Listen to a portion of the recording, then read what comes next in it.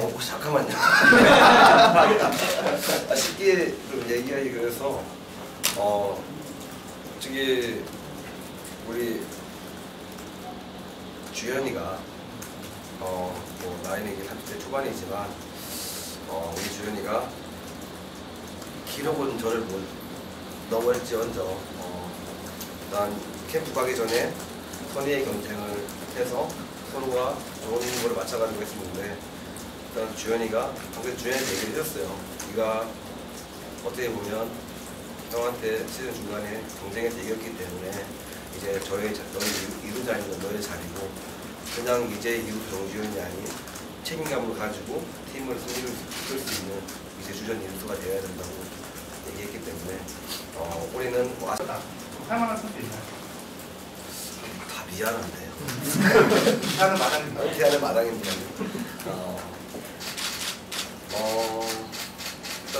나주원이랑도 많이 했고 진만형이랑도 많이 했고 뭐 하나 때는 너무 많이 했고.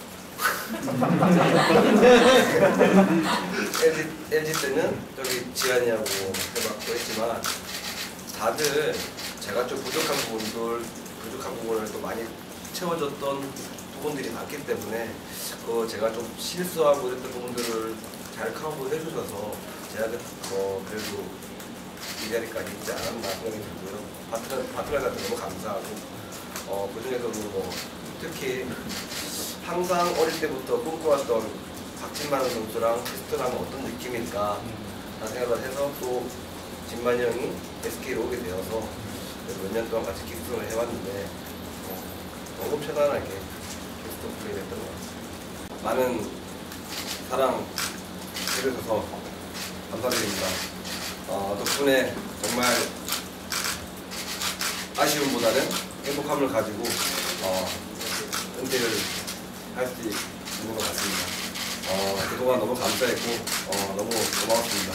어, 그리고 마지막에 LG 트윈스, LG, LG 트윈스 팬 여러분들 내년에는 분명히 더 좋은 일만 있기 때, 있을 거기 때문에 항상 LG 트윈스 많이 응원해 주시기 부탁드리겠습니다.